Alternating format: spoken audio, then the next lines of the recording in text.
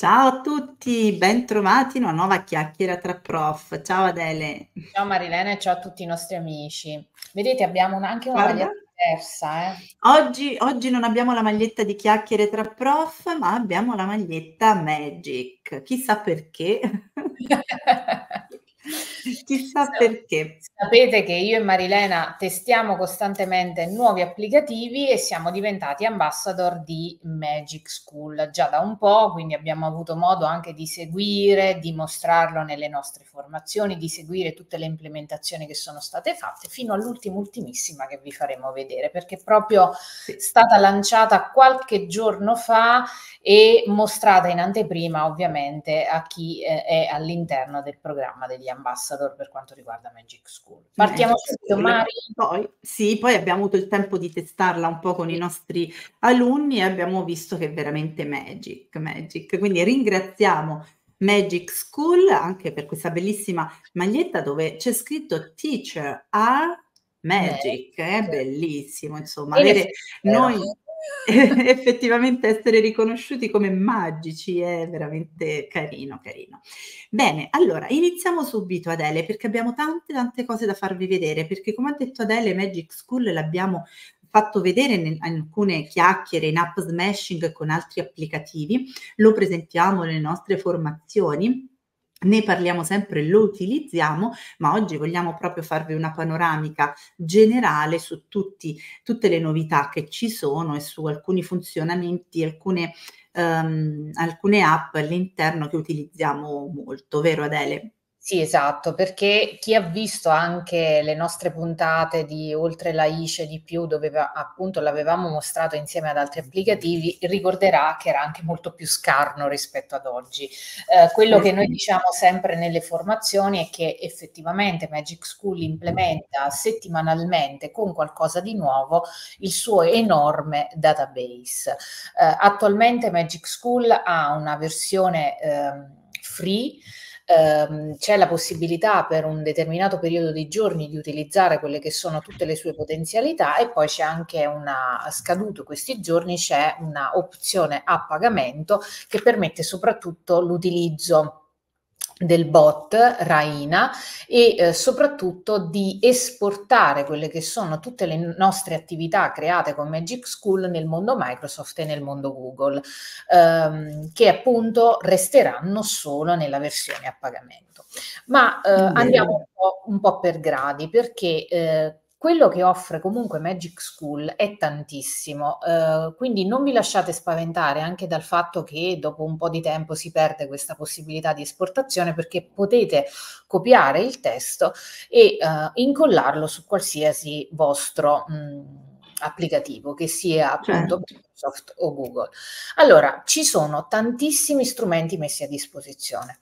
Partiamo subito dalla possibilità di creare un chatbot che però si può utilizzare solo all'interno di Magic School, quindi rispetto a quello che avete visto con Mizu, Uh, è totalmente diverso perché Mizu noi lo possiamo andare a condividere con gli studenti, ecco, nel caso di Magic School lavora solo all'interno di questo ambiente.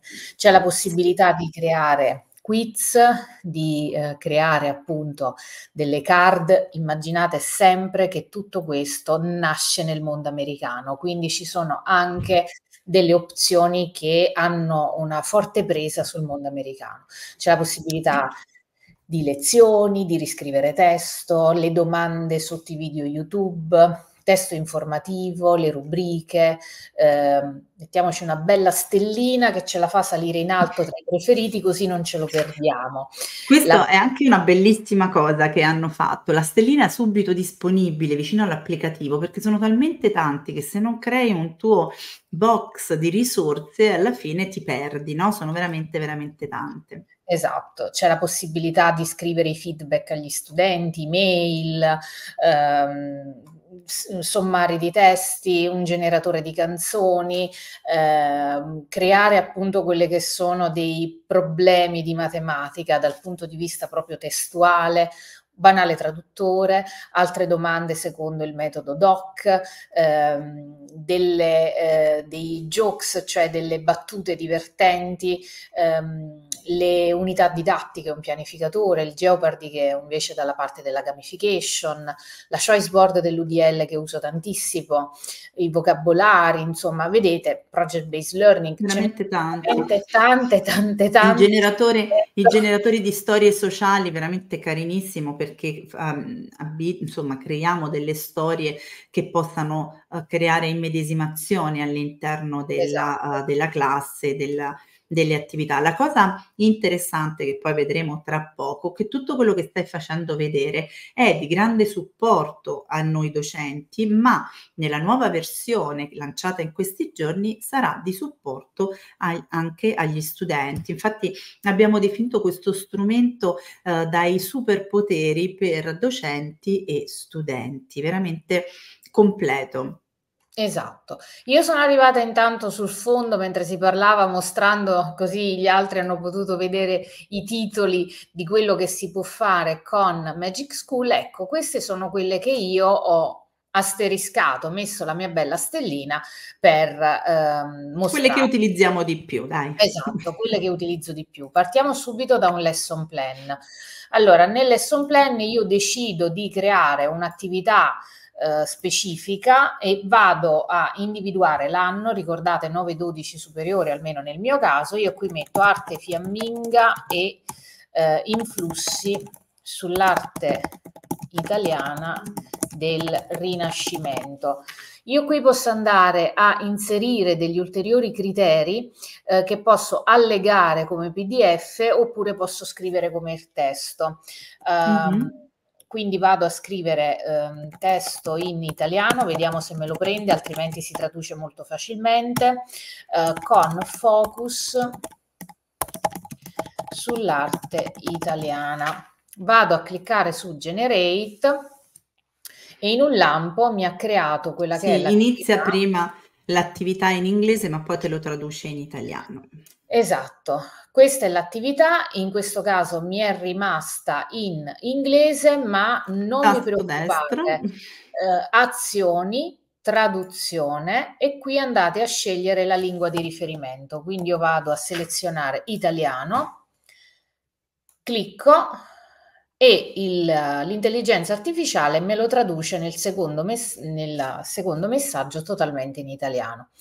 Eh, nel momento in cui eh, questa attività è di vostro interesse, come vedete ci sono le, i bottoni accanto, l'export in Docs, Word o la possibilità di stampare. Perderete Docs e Word dopo la versione insomma full, ma il bottone di copia per poterlo poi riportare è sempre attivo. Rimane. La bellezza di Magic School è che il testo lo, ce lo legge l'intelligenza artificiale e io il comando glielo posso dare anche vocalmente. Quindi dal punto di vista dell'inclusività devo dire che è sempre fantastico. Nel bottone delle azioni io posso anche andare a ragionare in termini di lunghezza, di sommario o andare a di domande anche. quello che è, è, è il, il, testo stesso. Quindi mm-hmm. questa è la lezione generata. Andiamo sì. invece a lavorare su un discorso di choice board. Perché vi dico delle choice board? Perché spesso a noi ci manca l'idea anche dell'immaginare i prodotti che possono andare a realizzare i ragazzi. Quindi io mantengo magari lo stesso tema, arte eh, fiamminga e arte rinascimentale italiana. E eh, gli vado a eh, indicare che cosa magari devono creare, eh, prodotti multimediali. In realtà questo è aggiuntivo, noi possiamo anche non dare indicazioni al riguardo, però ci produce una serie di attività eh, che... In chiave UDL. In chiave UDL, proprio perché qui mi dice che si può creare una linea del tempo, qui si può creare mh, qualcosa di eh, relativo proprio alla critica d'arte, un museo virtuale, una comparazione artistica, un cruciverba di parole, una riflessione, un collage, un quiz e una, un qualcosa di scrittura creativa. Quindi come vedete ci ha dato più opzioni, alcune delle quali magari noi ci pensiamo e altre a cui non facciamo magari molto caso e eh, l'intelligenza artificiale ci dà proprio quell'idea per portare poi avanti l'attività stessa. E Come supporto chiave... proprio alle nostre idee. Esatto, e questo è in chiave UDL perché ci dà diversi, eh, diversi tipi di eh, espressione. Eh, nel Geopardy invece, anche qui io vado a scrivere lo stesso tema e eh, ci dovrebbe dare quelle che sono le domande eh, come se fosse un quiz, quindi come se fossi mm-hmm. quiz eh, televisivi, vedete?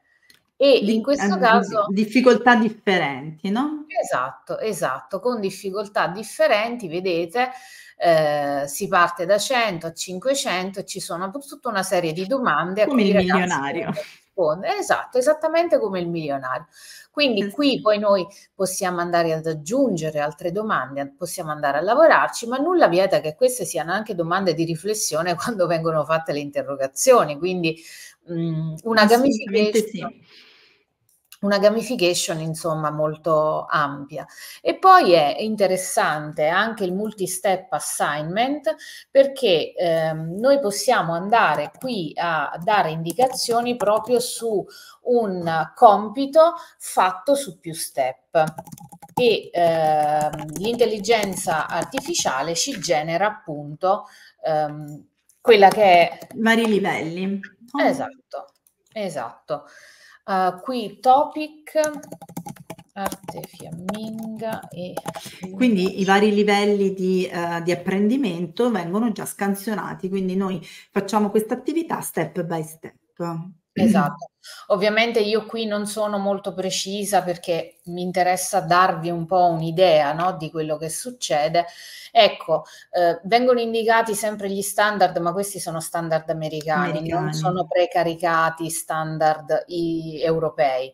Quello che Magic School ha caricato sono standard statunitensi e canadesi però anche qui vi ha creato un'attività che prevede appunto una parte rompigliaccio iniziale una parte di vocabolario, un'esplorazione dell'arte fiamminga, dell'arte italiana, delle domande di riferimento e un prompt che riguarda sempre un, un prodotto comunque da, ri, da realizzare o un qualcosa che riflette su un determinato argomento.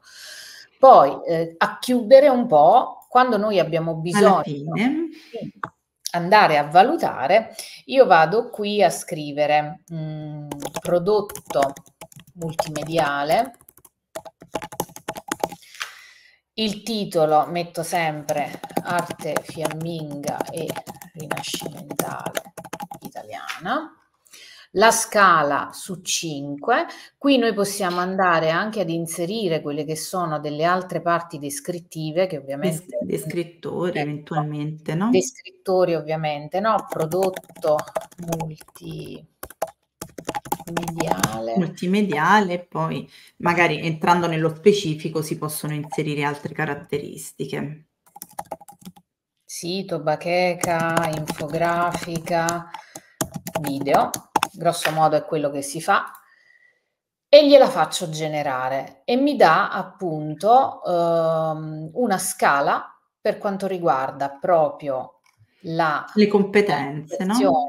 del prodotto eh, estremamente legata alle nostre competenze, vedete creatività, la ricerca che è alla base del lavoro, il design e l'organizzazione, i media e gli strumenti utilizzati, la creatività e originalità. Quindi se andiamo a vedere qui, dice uso di vari tipi di multimedia e di strumenti che sono stati totalmente integrati nel prodotto. Quindi sono effettivamente mm-hmm. delle attività. Ah, devo che io le ho usate le rubriche e sono molto molto precise, eh, veramente, sì. sì. Sì, sì. La, la, gradualità poi nei quattro livelli, insomma, è, è, veramente precisa. Quindi anche se sono, diciamo, impostate su un sistema americano e canadese, però se gli diamo le giuste indicazioni ries- riescono a calibrarle proprio sulle nostre attività. Esatto, esatto. È veramente interessante. Esatto. E questi e poi... sono soltanto alcuni esempi, no? Eh. Perché veramente ne abbiamo visti tanti e tanti. Quello di generare domande da video oppure generare testo da video o riassunto da video sono un'altra grande sì. risorsa che abbiamo, no? Che possiamo insomma utilizzare. Sì, sì, anche qui basta indicare quello che è il link al video e vi genera proprio delle domande relative al video stesso, quindi sotto questo aspetto è veramente utilissimo. E, mm, veramente utile. Se sì. voi adesso accedete vedete proprio questo bottone di switch qui in alto e Marilena illuminaci un po', da Magic School si passa a Magic Student. Magic Student, abbiamo detto, insomma, i poteri che hanno in, che ha Magic School non sono soltanto al servizio di noi docenti, ma hanno creato anche eh, un'area dedicata agli studenti. Prima Adele vi ha detto no, che il chatbot che è stato inserito nel pannello dei, dei, docenti è solo per docenti, quindi possiamo utilizzarlo noi all'interno del nostro account come un assistente eh, docente, un assistente alla nostra pianificazione. Mentre da qualche giorno è stato mh, aperto mh, Launch to Student, che cliccando ovviamente su questa uh, sezione noi possiamo creare delle aree per i nostri studenti. Che vuol dire? Non la creazione di un semplice chatbot da lanciare ai nostri eh, ragazzi, ma la creazione di un'area sempre in movimento dove possiamo far utilizzare ai nostri ragazzi diversi chatbot. Quindi apriamo una room, quindi una stanza, dove all'interno i ragazzi attraverso un link, adesso insomma faremo, faremo una prova, utilizzeranno i chatbot che noi andiamo a selezionare. Quindi se un giorno vogliamo lavorare in quella room nella creazione di una storia e poi la realizzazione di domande interattive all'interno di quella storia, andremo a, a mettere nella room i chatbot che utilizzeranno i ragazzi. Un giorno dopo vogliamo utilizzarne altri, li modifichiamo e andiamo ad inserire altri strumenti per i nostri ragazzi. E loro non dovranno far altro che accedere alla room e eh, utilizzare ciò che noi mettiamo a disposizione. Ed è veramente semplicissimo e non serve registrazione. Andiamo a cliccare su Launch New Room, che cosa ci mette eh, a disposizione? Tutti i tool che prima abbiamo visto con, eh, con Adele, per cui mh, tutto quello che era della creatività oppure per esempio eh, la creazione di, un, di una musica o della creazione delle domande, la creazione appunto di una storia, la creazione di un gioco, quante volte noi ragazzi diciamo creiamo un gioco su questa tematica, no? Quindi loro possono utilizzare il Jeopardy per creare delle domande su un determinato uh, argomento. Quindi andiamo a scegliere quello che è il uh, chatbot che uh, vogliamo oh, far utilizzare ragazzi.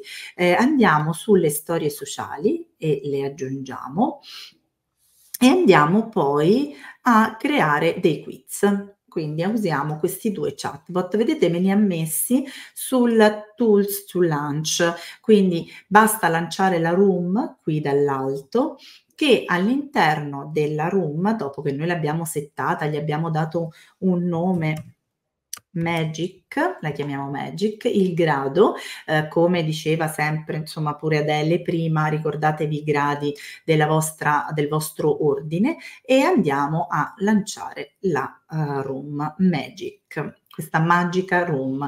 Come condividere con gli altri? Ecco, questo è uh, il uh, QR code. Se volete entrare, la lascerò aperta, insomma, questa, uh, questa room e provare voi i chatbot oppure tramite, tramite link. Io adesso passerò ad Adele il link che proverà ad entrare nella room che abbiamo appena creato nella Magic Room e eh, ci confermerà che per entrare nella room servirà semplicemente, semplicemente mettere un nome, un nickname o il proprio nome.